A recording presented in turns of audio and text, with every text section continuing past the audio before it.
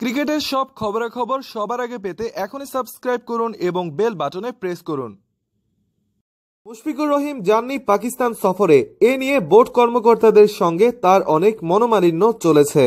বিশেষ করে প্রথম টি টোয়েন্টি সিরিজে হোয়াইট ওয়াশ হওয়ার পর তার উপর দোষ চাপিয়েছিলেন পাপন।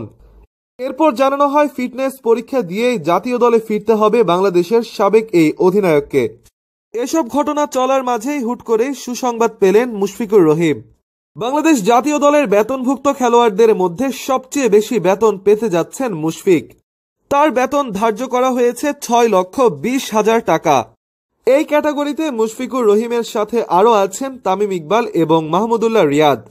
নিষেধাজ্ঞায় থাকা সাকিব আল হাসান এখন আপাতত কোনো চুক্তিতে নেই। এদিকে পয়েন্টের ভিত্তিতেই ধার্য করা হয়েছিল এবারের বেতন। মুশফিকুর রহিমের পয়েন্ট সবচেয়ে বেশি।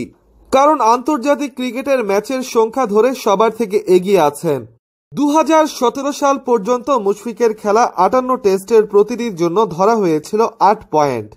গত দুই বছর ধরে তার এগারোটি টেস্টের জন্য ধরা হয়েছে দশ পয়েন্ট। সব মিলিয়ে লাল বলে মুশফিকের পয়েন্ট সবার থেকে বেশি, পাঁচশো চুয়াত্তর। সাদা বলের ক্ষেত্রেও সর্বোচ্চ মুশফিকেরই। এক হাজার একশো বাহাত্তর পয়েন্ট পেয়েছেন। এদিকে দুঃসংবাদ পেলেন মুস্তাফিজুর রহমান। তার বেতন আরও কমিয়ে দেওয়া হয়েছে। গেল বছরের চেয়ে পঞ্চাশ হাজার টাকা কম পাবেন মুস্তাফিজ।